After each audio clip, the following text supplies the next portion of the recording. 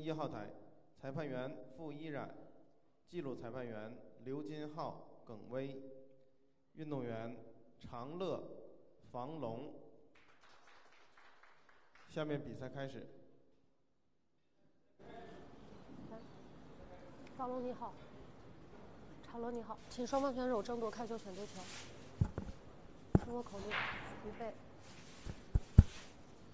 三、二、一，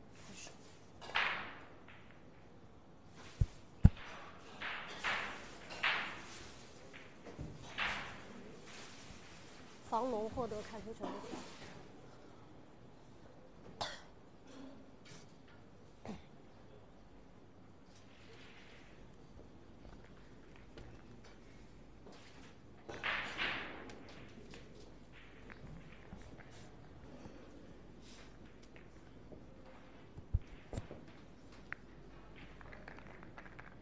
位观众，欢迎您通过企鹅直播平台观看景点乔氏杯二零一七中式八球国际大师赛浙江杭州站第一阶段三百五十二进一百七十六双败淘汰十三至二十八组第五场比赛的现场直播。我是苏新元阿苏。大家好，我是张清勇。张指导，中午好。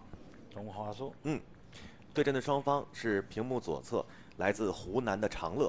对阵屏幕右侧来自山东的房龙，两位选手常乐来自湖南，今年二十二岁，是个人第一次生涯参加乔氏杯的比赛，属于在湖南当地是一个半职业的台球的选手。嗯，房龙呢是个人生涯第三次参加乔氏比赛，来自山东，一九九零年出生。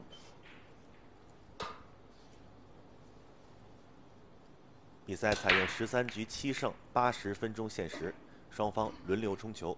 全程包括八号球在内，所有子球均无需报带。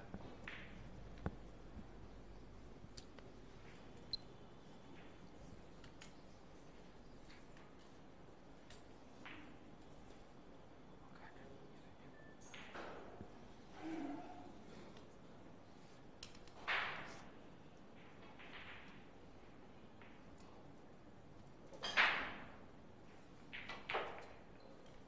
底杆要 K 一下。看这个位置，白球感觉红三和四号球应该都没有什么单打，而且十五号呢在屏幕左下方，应该二号也是被挡住了。嗯，这杆想进攻的话，确实也没什么好打的。要去传一杆吗？组合球？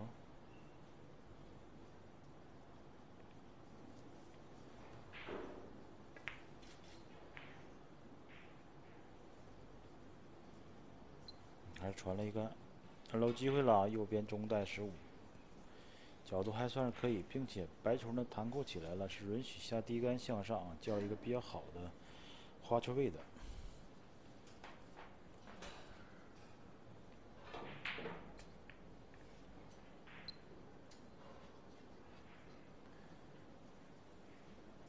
将白球调到球台中间偏右的位置，那么九、十一。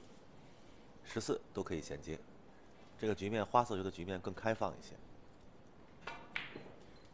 一个中击杆发力横蹬过来，调到十三。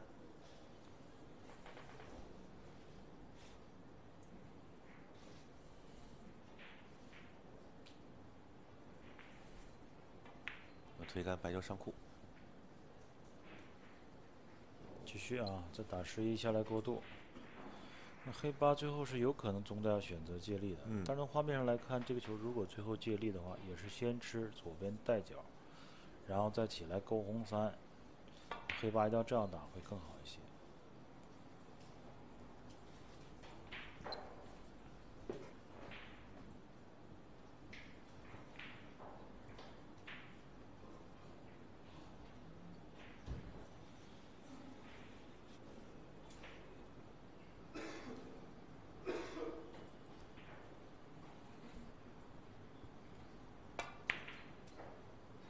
好球！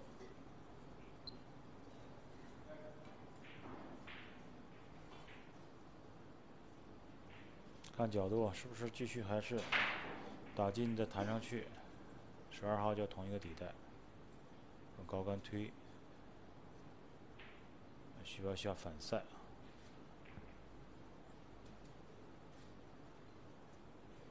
角度还是从这个画面上看，有一点点的偏大，向屏幕的左边走。方龙这边也是在观察，要不然就走两库。力量非常大啊，没打进。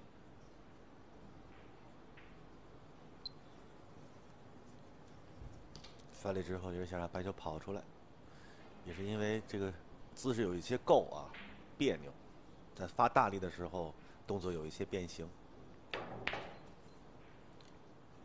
长乐的机会啊，上面还有两颗武器，推两库或者直接蹬一库起来都可以，玩叫七号底带。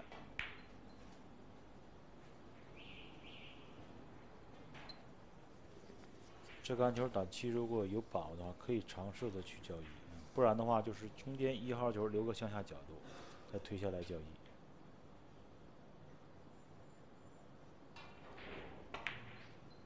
下来了，直接来了啊！这就是提前做考虑，把这个难打的球都是要提前尽量去处理掉。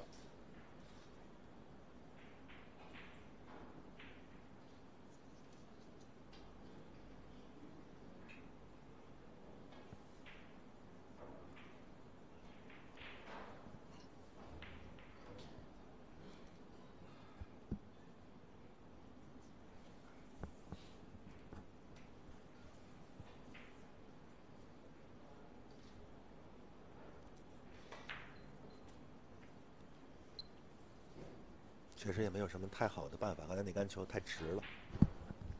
这杆球只能推二了。嗯，底在右上角。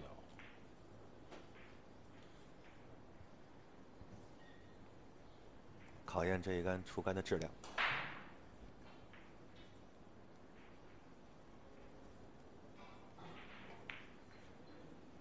好球啊，推的相当准。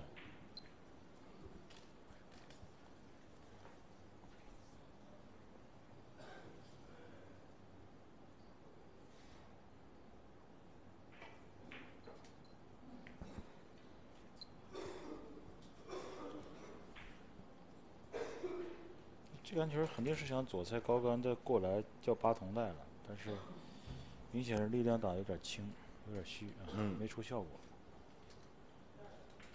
有些杆法一定要配合适当的力量才能出来这个白球效果。是的。包了。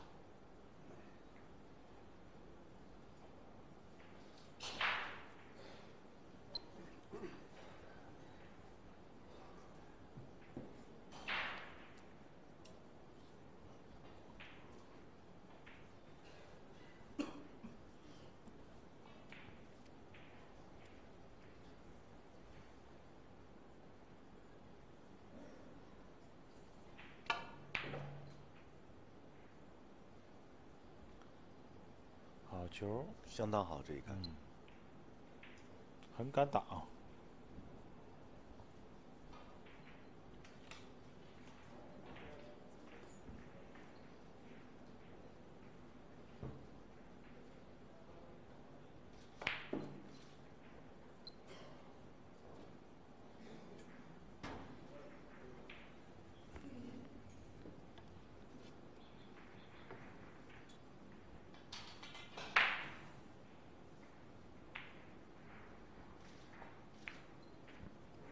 龙也是率先拿下一分，一比零领先。比分一比零。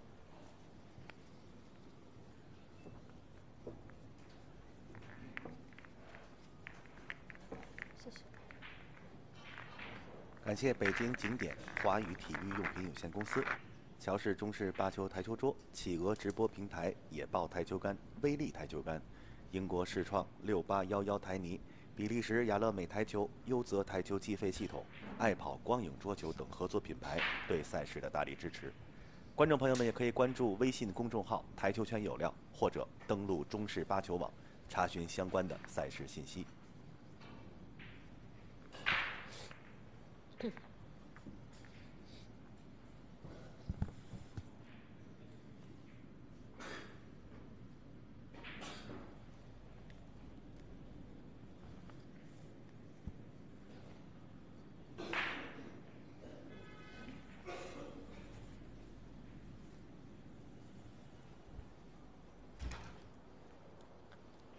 二局长乐开球。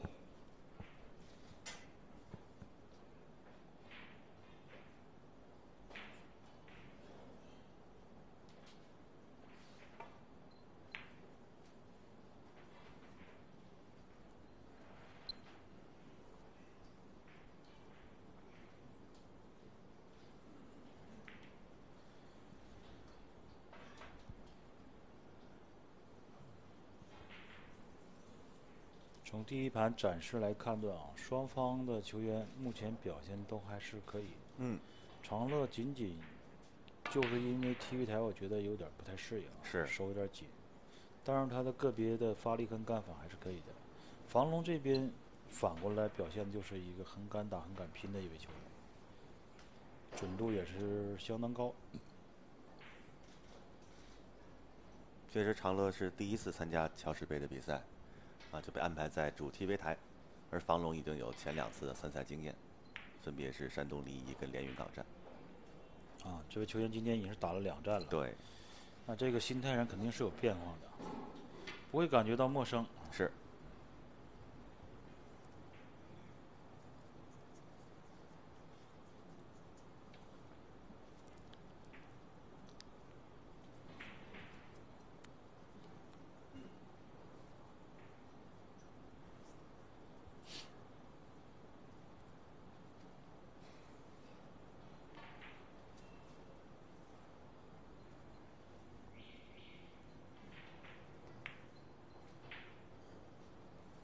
是不是有点多啊？这杆球，组合还能看得到吗？啊，应该可以打，十三传十五，十号也刚好。嗯。打完是看角度，留十三向上的话，最好是直接用十三叫十一了，然后再用十一号去调左边两个球。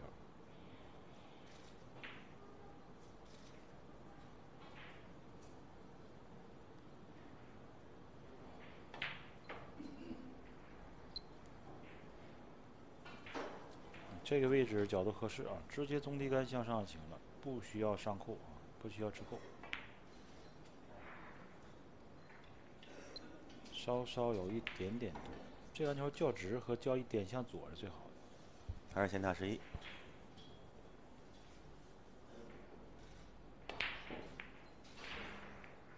就是因为角度没较合适，可能有点够还，发力蹬，打抛。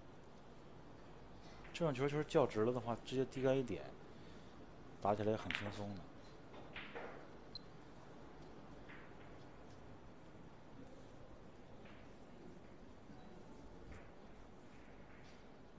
有机会勾啊，对，黑八，稍稍带开一下，嗯，没带到十一号会挡住吗？只能拼四了。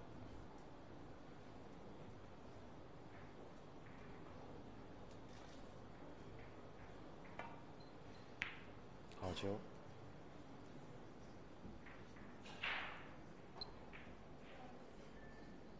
从他刚才白球贴库出杆的这个指向与整个身体动作，这杆质量非常高，对，很稳定的动作。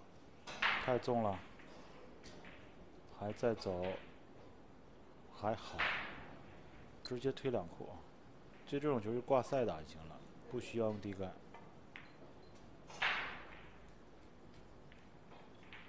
要一杆准度，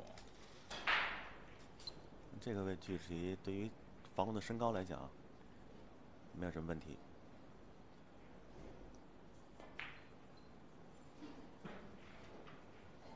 对自己有信心啊，所以说没有用很轻的力量打，还是发力打进，稍稍逛了一下带脚。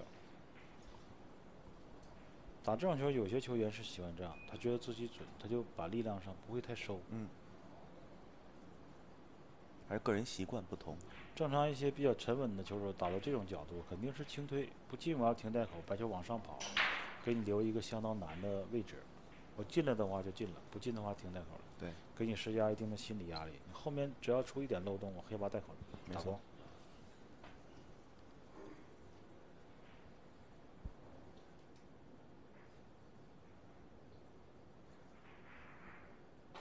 选择扎杆。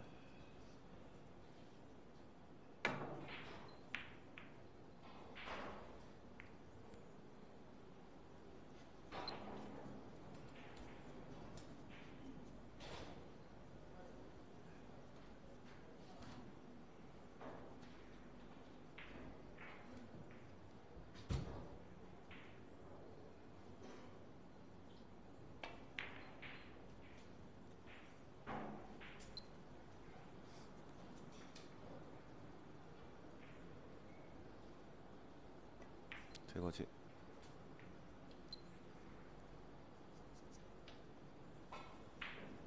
推一点。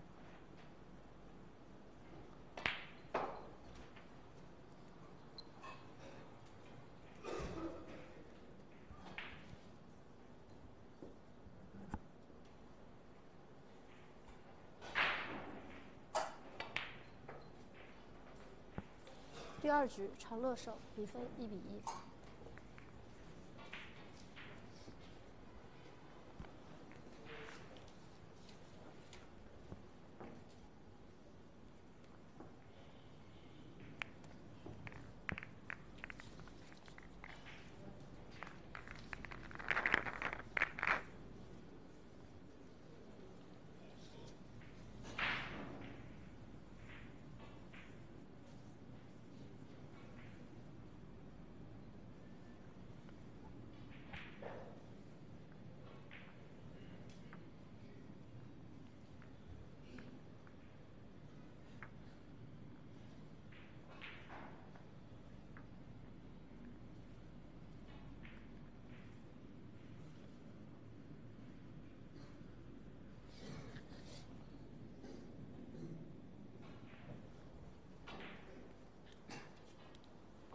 三局，方龙开球。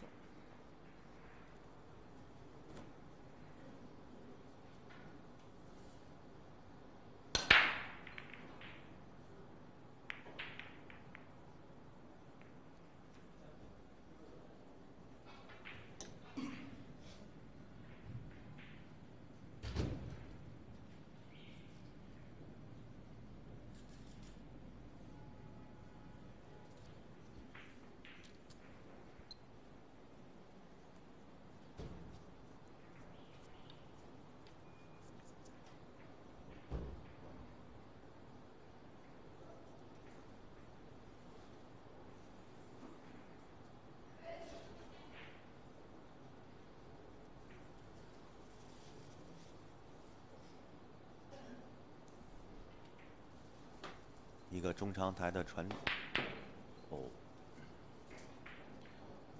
两个球员打球都是很刚的，对，喜欢发力，太收，很典型的小德刚的一些发力方式，很常见啊。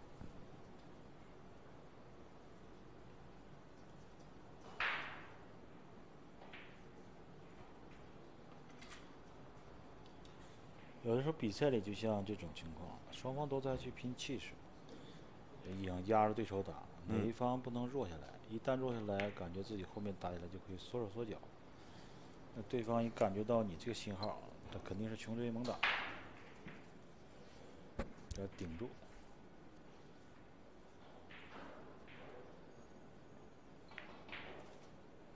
底带准一杆。这种球员这么交位，那肯定是准度相当有信心才会这样打。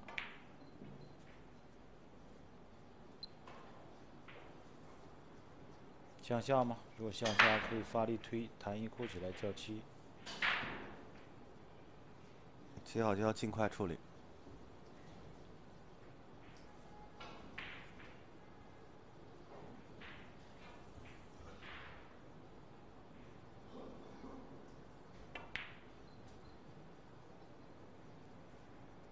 这杆蹬两库的话，就首先避开十，其次左边袋口附近的十三号，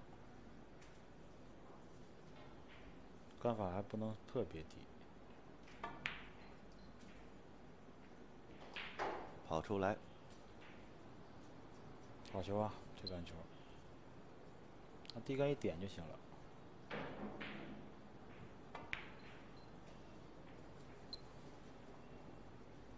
看角度是不是有点大？再推一库或者蹬一库。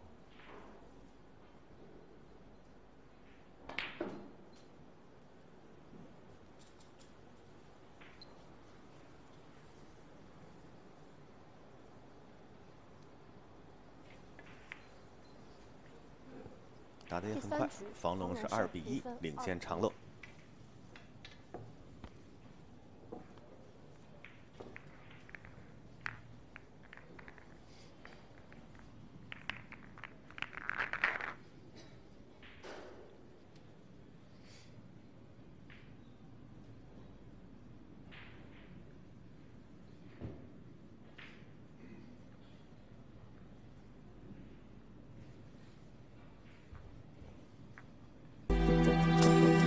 你可有许多选择，但冠军只有一个。野豹球杆，专注黑八，赢家选择。第四局，长乐开球。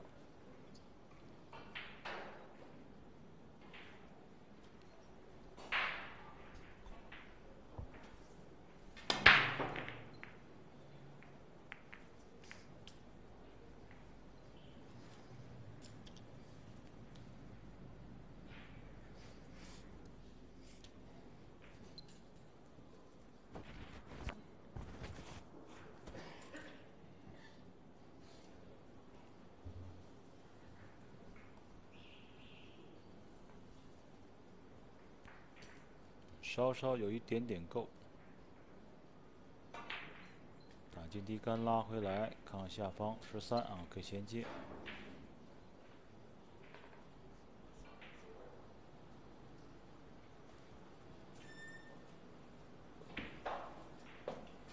这里边这十四号啊，在交位上还是需要仔细一点的。刚好十四附近是有三号跟六号在走位上，有可能会形成一定的阻碍啊。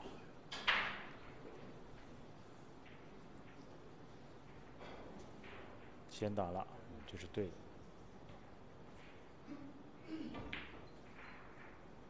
右边两颗，左边一颗，下来最后十二叫黑八啊，这次序没问题。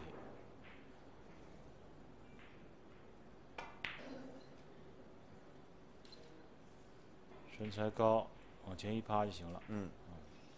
啊，较一点角度出来，较直呢就直接低杆往回拉；较角度大呢就推一库弹起来。从黄衣的下方一弹，十二号左下方底带。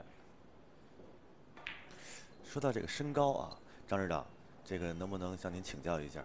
咱们中式八球或者斯诺克这些台球运动，嗯，男子选手啊，身高在什么这个位置是比较合适？比较合适啊，一七五一八零之间，一八一八三以内吧，一八一以内就行了。不用太高，太高有的时候弓着身子，其实打起来，他有个别人胯部是站不开，就容易出问题。咱们在前面 TV 台看到很多球员，一米八大个的时候，两脚脚间距特别窄，这个对于他来说是没优势的。但如果胯部张开的话还好一点，太高了的话，他容易就是后背罗锅，知道吧？就趴不下去。对吧，也不是说完全趴不下去，正常如果腿站位站好了，身体舒展，身体柔韧性足够好，他是可以去做到的。但是有些人好像后背腰啊等等，长大成人了之后有点硬，韧性不够了，他就难免一趴下去，他后背不是平的。好多学生后背不是平的，他是弓起来的，弓起来这是没办法了。后天因为成长起来的骨骼呀，对吧？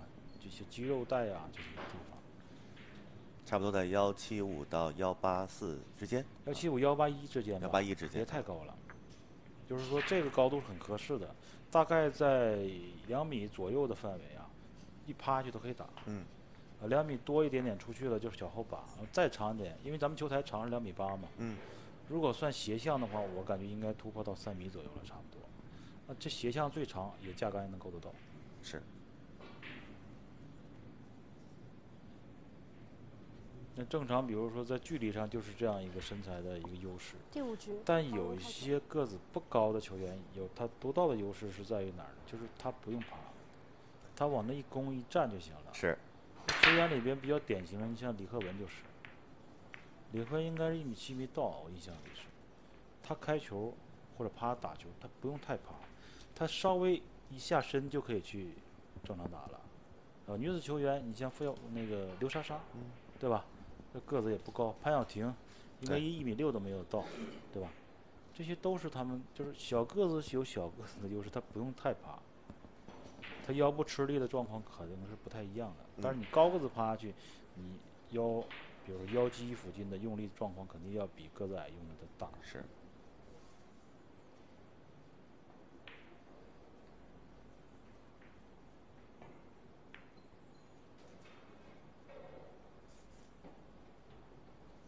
这杆球，哎，还在走，能感觉这个力就是已经是不太受控了啊。嗯。实在不行，就只只能勉强轻推了，顶到十四也没办法。主要是推进。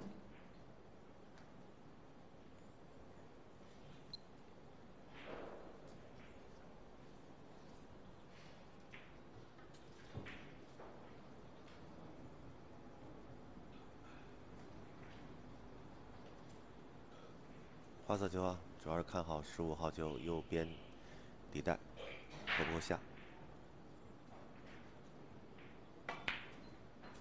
过来直接 K，嗯，很强的左塞，那看来是不够。那等于是通过这一杆一打一 K，将最难的十五号球解开了。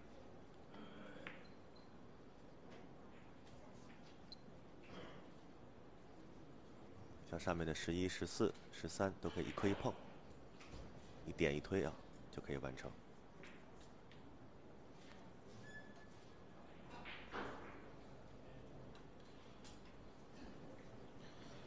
主要复杂的地方还是在于十啊，感觉十号好像是单独出来的，其实它附近的这个三和五是很碍事儿的。先打十一，然后十四右边中带，白球看角度，是不是有点直？或者是有一点点可以吃上边中带上方的角度呢？如果有的话，就可以推一库直接叫十三左上方底带。但是从房龙这个肢体语言上来看，有点不太满意。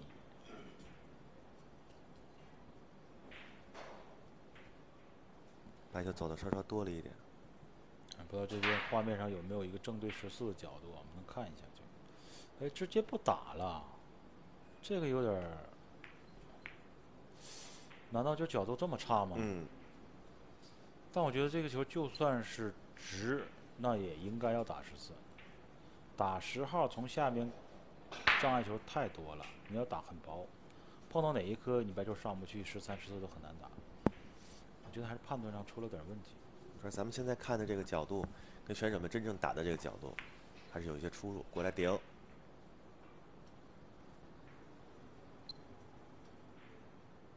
杆球不算很好，但是还可以继续进攻。七号球能过渡。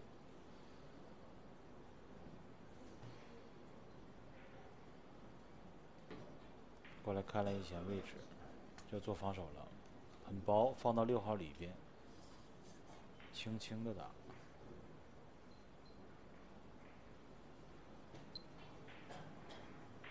十四漏了。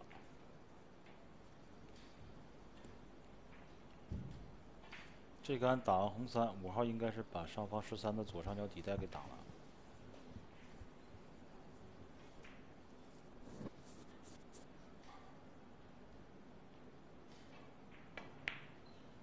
嗯，还是出现了一些小失误。长乐不对啊，长乐现在有点着急了。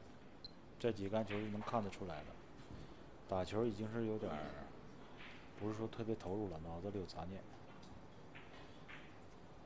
再过转过来看房龙，房龙这个时候绝对是特别不着急。你着急，我稳一点；你再一失误，往下又一分。就这个时候，就往往一一下子就容易把分差拉开了。我觉得，哎，勾，哇，勾下了，但是也不能再进攻了，必须要防守，剩两个球。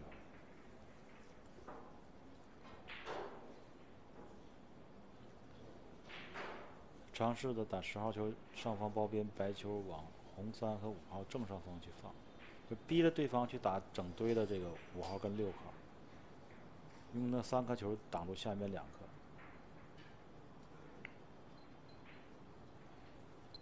放到这儿，只能说还行吧，因为对方很好解七，也很好直接从上方往下解一。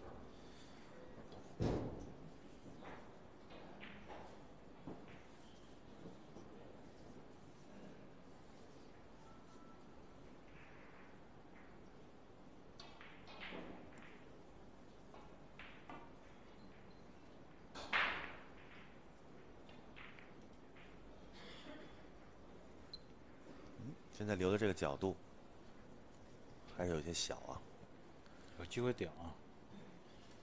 强行的发力去蹬，就怕这发大力准度啊。他俩应该还行吧，这准度还可以吧，目前。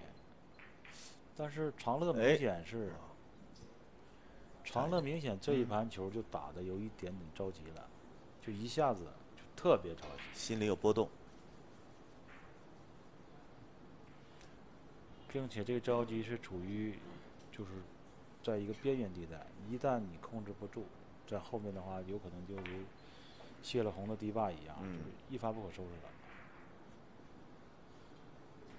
说稍微不太夸张的话，有可能就这个分数就到这样了，你最多再赢一分，七比二、七比一结束。方龙这边是不着急，能看到，就一板一眼，我该防你的时候，我肯定会防你。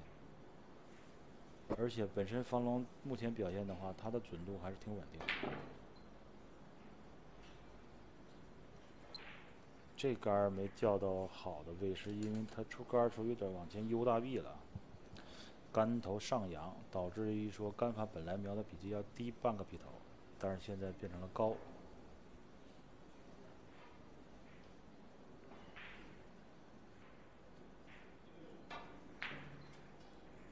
那今天这种长台啊，准，嗯，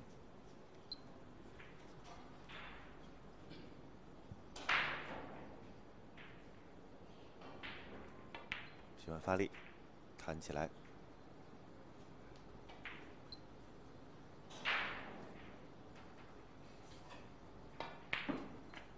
第五局，方龙方龙也是四比一领先长乐。方龙是来自山东。今年二十七岁，长乐来自湖南，今年二十二岁。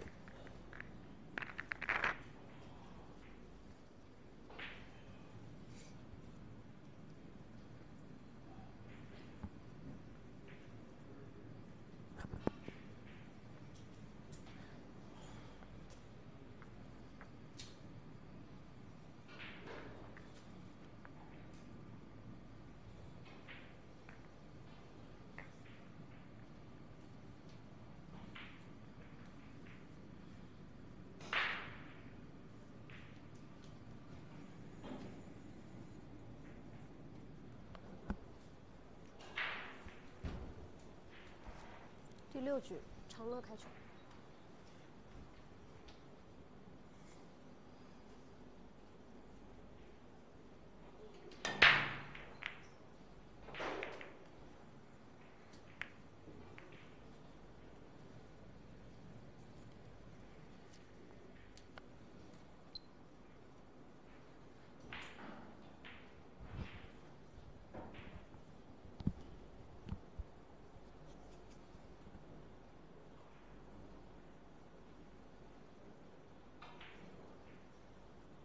球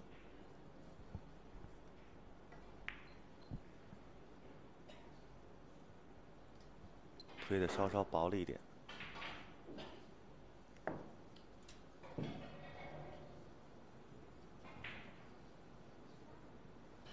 比分落后，而且对手持续给他的压力。现在长乐有一些失常，这个球其实并不算太难，对于他来讲。这杆球只要是顺利的叫到了一个七号啊，提前把它打掉。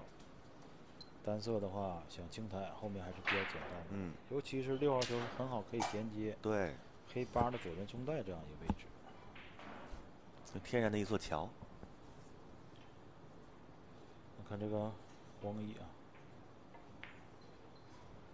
打进位置还可以，那么关键一杆了。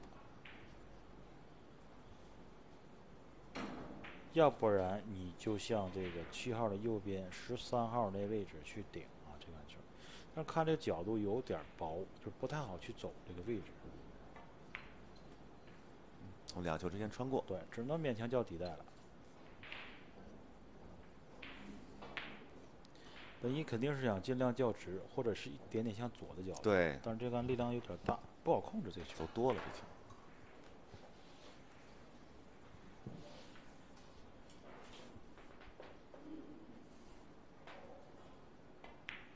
中力推再顶开十三，好球。这球还是准的。嗯。有强大的准度支持情况下，这个打起球来就很放心。并且，房龙在 TV 台目前这五盘的表现还是说不错的。嗯。关键球。你不知道以前有没有上过 TV 台的经验啊？但这场比赛 TV 台。准确来说是正常发挥，不敢说他发挥的有多好啊，是，就是说他基本球都会打进，这个就属于不错了。也是三年级生，对一年级生，房龙是第三次参赛，长乐是第一点。很敢打啊，走两库叫中带。感觉房龙比长乐的这个状态更专注，更投入一点，而且他很放松。嗯。没有说场上的这个 TV 台压力压的他就对不太会打，他的心思全在球局上。好，现在是房龙五比一领先长乐。五比一。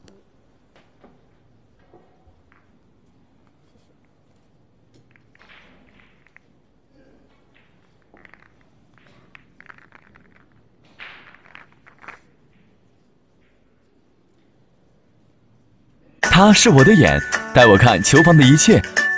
手机实时查账，开台状态一目了然，明细清单想查就查，可疑操作及时推送。手机管球房就选优管家，淘宝搜索优泽计费系统。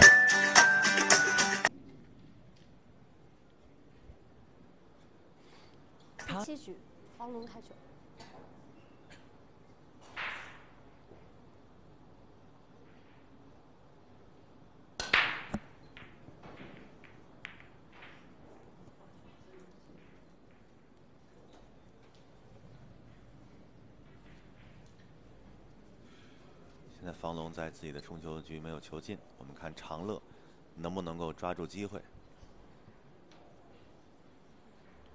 六局过后已经是五比一了，嗯，这个比赛是有可能第一阶段休息还没有进行就结束了。咱们现在是九局一个休息，对。但是通过前六局的比赛啊，张指导，我觉得以长乐的能力，这个比分确实有一些比分差的有点对，有点多，比三啊，对吧？这种还可以，不太应该是这样的比分，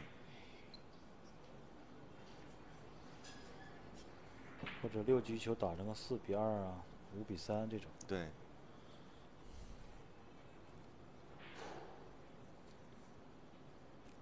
尤其是在第四盘的时候，出奇的着急，长乐打的这个球，明显是不太稳重。内心波动还是比较大，没错。有的时候可能还是对自己发挥不满意，那不满意也没办法。场上比赛你要调整、调节自己的心态。觉得有一些简单球失误丢人呐、丢脸啦，那么多好朋友看着我，都会有这样的负情、坏情绪在。嗯，首先肯定是不满意啊，自己发挥，但这不满意也是没办法，你要调整。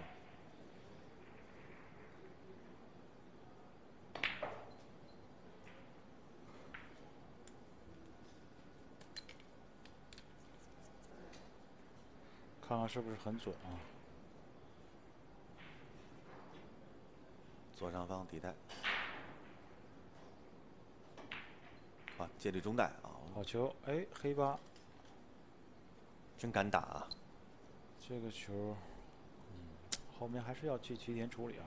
看这十五号是不是可以低杆拉一库先叫九，然后打九直接 K 黑八，毕竟带口是十二号，从上往下 K，有打九下第一杆 K A 八，K 好的话黑八都能将十二号 K K 进，然后刚好黑八也停带口了，反赛第一杆，看看力量够不够，好，可以，嗯，稍稍显大，但这杆球还可以下第一杆比较低去挂啊。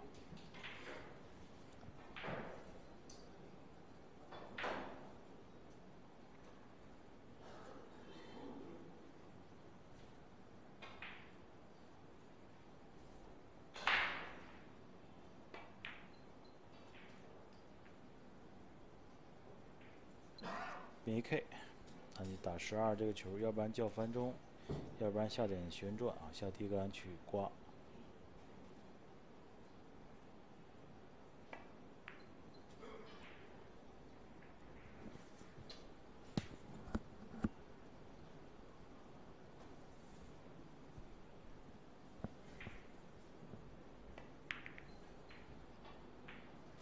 稳稳翻进，长乐也是抓住机会扳回一分，现在是二比五。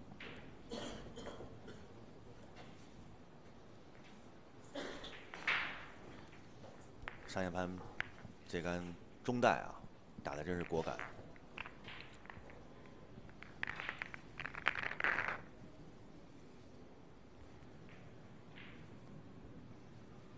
也是在这个抢短局，现在已经这一分如果再丢。对手的赛点，你都没有机会再去拼了，逼到悬崖边上了。嗯，背水一战能不能够打好一点？有些时候这个压力释放掉了，有可能会发挥的对。但是千万不要说着急出错啊。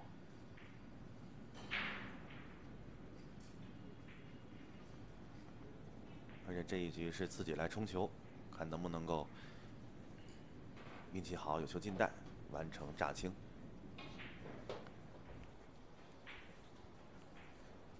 第八局，长乐开球。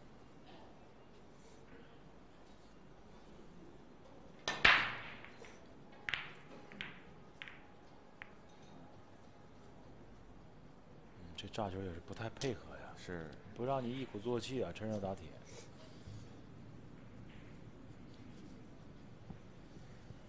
单色位置还可以。花色呢？左上角十五号是被红三所挡，看看怎么来选。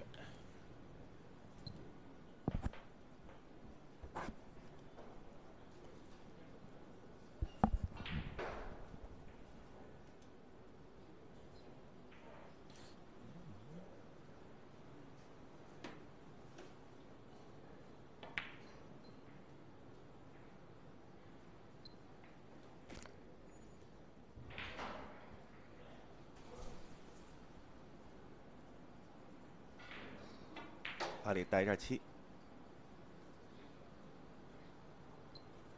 算是把这个敲球问题解决了。那么还要拼一杆啊，这种长台的准度。四可能是左边没有吧？这二号球应该是给打了，或者是二号球单下，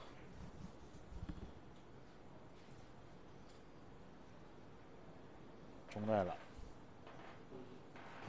很准的一个准度，然后下低杆，好球。真准啊！嗯，真地强，能力真的强。高杆啊，回来顶十，把黑八带口让出来，然后再用底带啊中带这个六号球来去过渡。嗯，再把这个局面八号球周围的情况再简化一下。这样的话，你后面走位也会说比较好走。那现在剩下就是说，你看你用上方哪个球来走了？基本大概情况都是用七完了三叫位啊，但是现在呢？哟，这个球是不是有点走小了？红三有下吗？红三，红三如果没下的话，只能打七，弹扣起来 K 十五。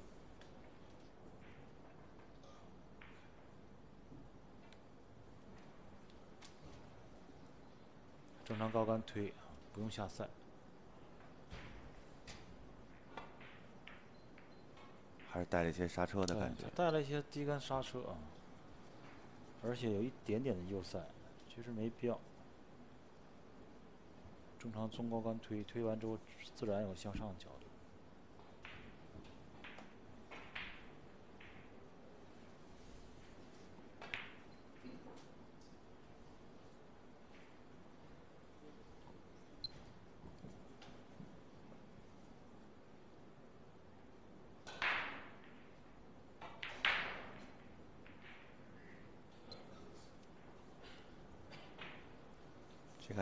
过十一，本意应该是避过十一的啊。先把十一号就处理，然后用十三白球往下调十四。现在只能改变计划，再走，可以接受啊。低杆横抬叫十四，还是高杆推下来？看当时角度还是高杆推了，角度有些大。缝隙中间十二号多了，十号有下吗？有。哇，这个位置有点微妙，应该是将将够。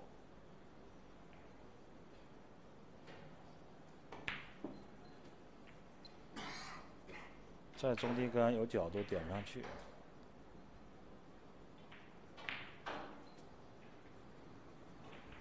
轻推或者低杆轻点，用最简单的方式。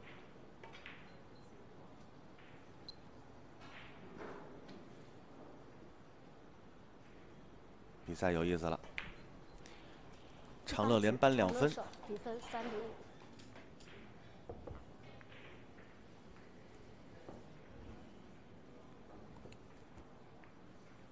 高手对决就是这样的，有的时候是你一招啊没有处理好，那后面这一盘就输掉了。和长乐在刚才在一比五落后扳回那一分的时候，这个心里的这个这口气呀给吐出去了，一口怨气啊憋在心里很很长时间，一下哎自己还反而放松了，投入了，再拿一分。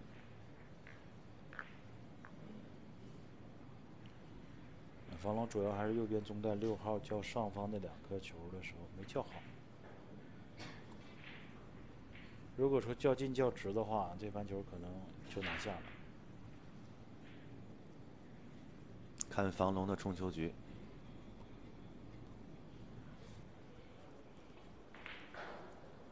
第九局，防龙开球。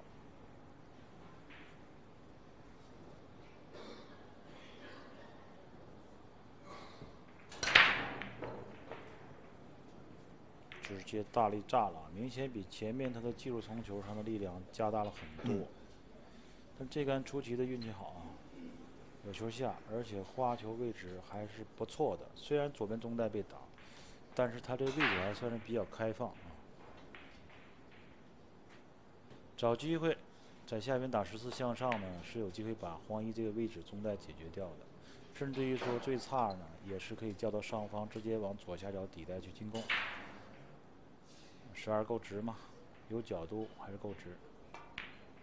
没问题。那这杆十其实，哎呀，我觉得这个时候还是不要太想太多。就是你从上往下顶黄一这位置是容易出错的，最好还是要不然就叫位，要不然就叫下边的球。还是 K，看看怎么样？有过渡球吗？中带可以打。十五，嗯。还好，但这杆球其实从上往下顶是很大风险的，有风险。对方黄一刚好在中袋附近，你是容易出问题的。或者像刚才，如果说你中袋力量没控制好，啊，先别说没有打进，中袋力量没控制好，嗯，黄一 K 到屏幕下方来了，你底下那两颗组合球的袋口没有了。对呀，就是从上往下不如从下往上打十四向上去 K，就这样一个安全打法。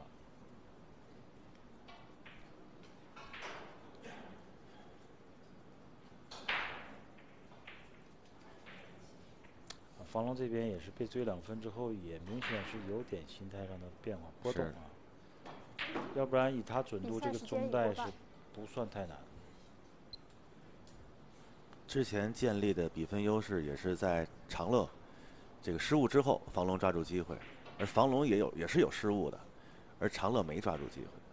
那刚才此消彼长之后，房龙两杆失误球之后，长乐扳分扳了两分，现在这杆又失误了。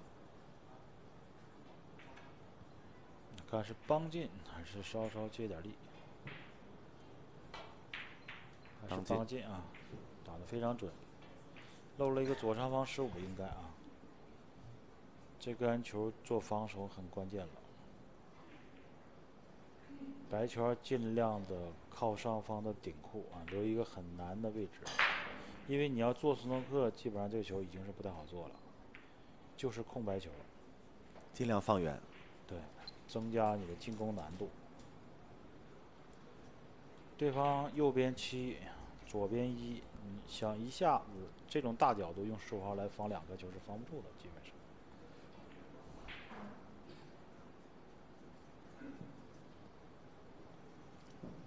不是说对手肯定能打进，而是说对手有选择很多。对。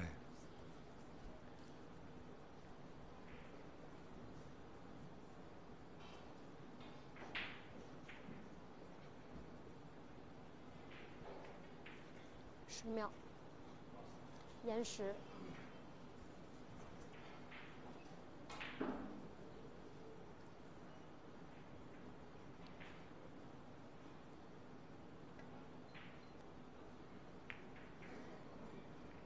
咦，十四是不是够了？应该是有的打了。嗯。这球如果有的打的话，十三后面那个球也有的打。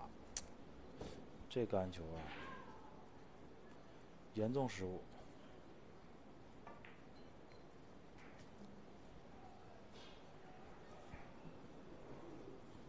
角度合适推就行了。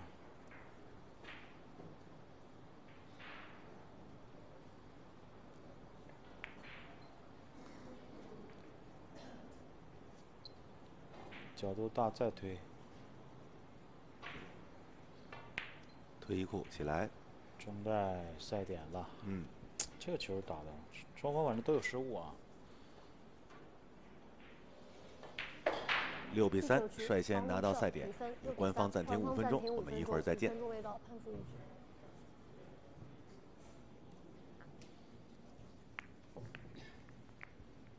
憋一下趁少。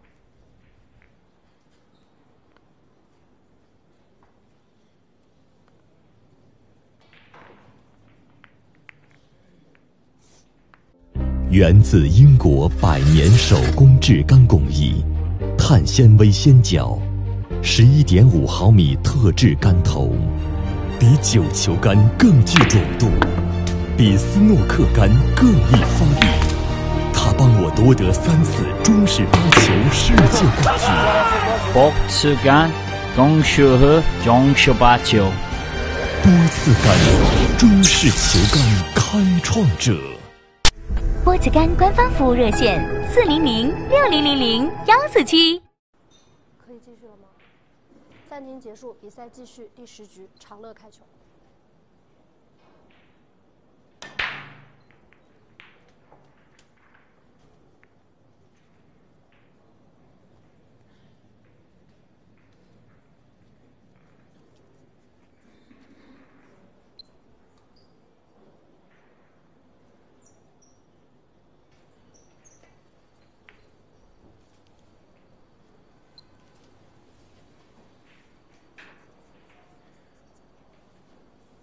暂停调整之后，长乐能不能够抓住机会啊？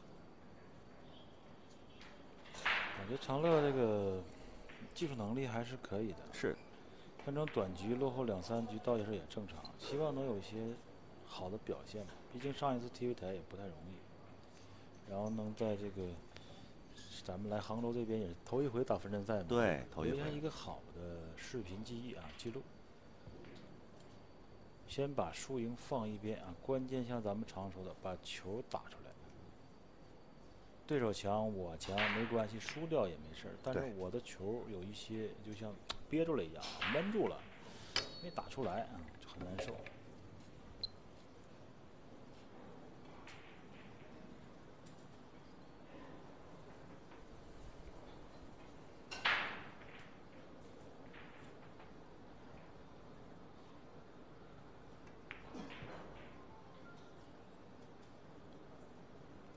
稍有一点过头啊，并没有说控制一些杆法。再来，会不会打进先交一？是这样想的，但是没进。六挡住了吗？右下角，这就危险了。如果九号没挡的话，这盘有可能要清台。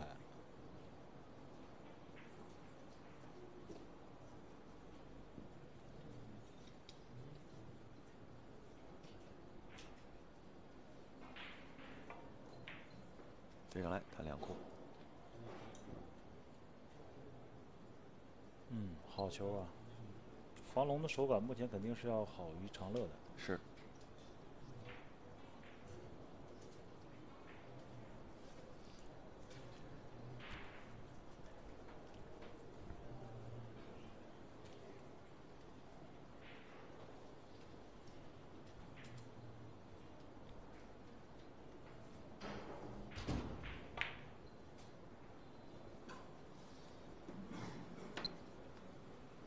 起来，刻意留了个角度。对，这杆球就是关键球了，你是要顶六，要顶得多厚啊？关键一杆，或者是你要顶九，顶多正。顶九叫是一好球，好球，非常好，好球啊！对分离角的判断、力量的控制。房龙如果这么发下去，我感觉这一站打三十二都正常。就是如果他能这样打下去的话，这种情况下因为是有抗压情况存在的。比如说你碰到了前十六的和前十七到三十二的人，是不是也能打出这种球？对，有些时候是有变化的。比如平时你对一些不太级别高的人是厉害的，但是你碰到排名前三十二人，忽然之间就不会了，也正常，因为他给你的压力是更强的。没错。你是反而是弱势的一方。那么恭喜房龙获得比赛胜利。下一场比赛是下午的两点半，我们稍事再见。请双方选手确认签字。